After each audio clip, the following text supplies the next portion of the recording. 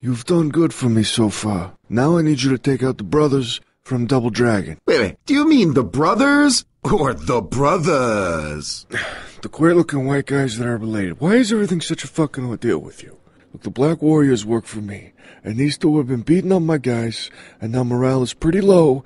I can't have that in my business, especially not in the street crime division where petty larceny and theft require a lot of enthusiasm. Let me ask you something. How, how long am I going to be working for you? Is there a set value for each kill, or is it varied based on difficulty? Maybe if there was a running tally or a spreadsheet or something I could get a look at? All right, all right, I'll have accounting check into it. Now go to the thing where you annoy everybody and then kill them. Consider it done, AC Slater.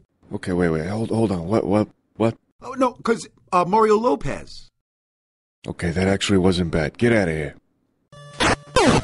Hey, Billy Lee, look at this shirtless guy with the blowout. Long Island's that away, loser. Keep it up, douchers. I got reinforcements. Come on, let's get them, guys. We're, we're getting a free lunch. It's like I understand that. Look, I'm just not even that hungry, to be honest It's with you. focus, guys. We got a job here. You said if we'd help you out, you'd buy us lunch, but Eggman wants General Sal's and I want pork vindaloo. Oh, I can't eat Vindaloo. It's too spicy. General Sal's is just as hot. Look, you idiots. There's an Indian place right across the street from Hunan on 5th. We can get both. Now, can we just do this? All They right, cut let's me get in it half. I'll roll back in two people. Itching Come for on, a fight come all on. day. Oh,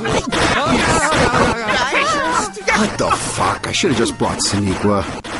You like Indian food? Because I want to dip my naan in your tahini. Indian food gives me the shits.